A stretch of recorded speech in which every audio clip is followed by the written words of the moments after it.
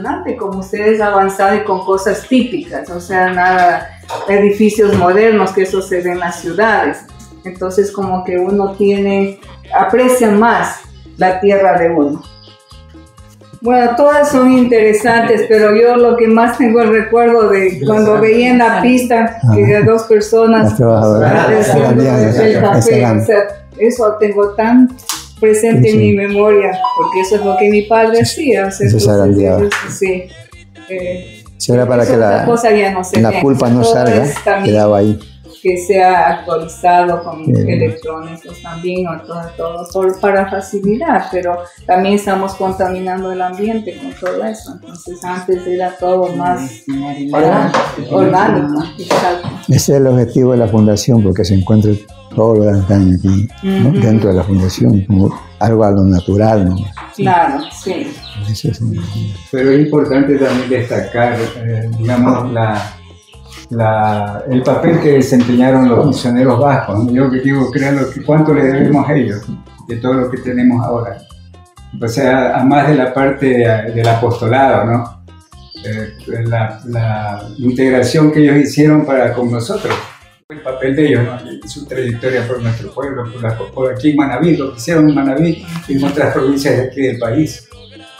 Dejaron siempre eh, esos recuerdos que quedan perennemente en nuestras mentes y corazones. Y, prácticamente Cuando veo ahí, pienso en cómo trabajaba la gente y cómo, con qué esfuerzo hacen, cortaron árboles.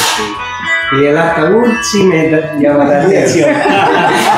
ahí no entra. no puedo, Pues muy agradecidos por esta visita y por todo su apoyo. Lo que eh, podamos.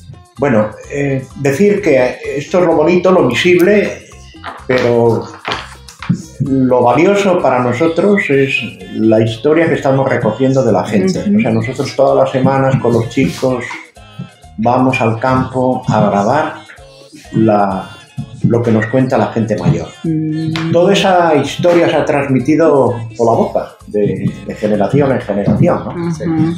Ahora, a nosotros, ¿qué nos toca en este momento?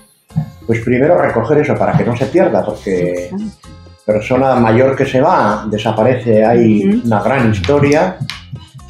Segundo, lo estamos mostrando pues, en el museo, eh, como dice Azucena, pues para que la gente lo vea con sus ojos.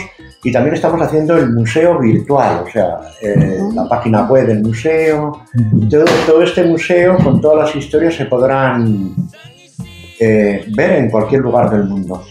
Y yo creo que eso estamos avanzando bastante. Para la visita que hagan el próximo año ya vamos a estar arriba.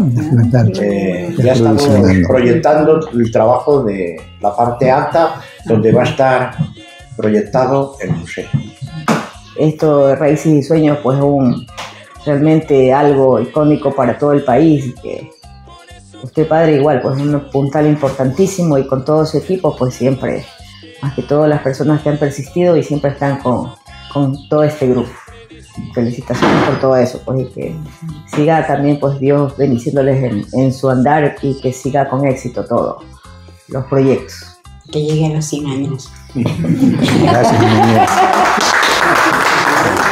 Lavis eh, Cueva Vera y nombre de casada ahora Lavis Lux, L-U-X como el jabón. Muy lindo ver la naturaleza y como que estamos en otro mundo.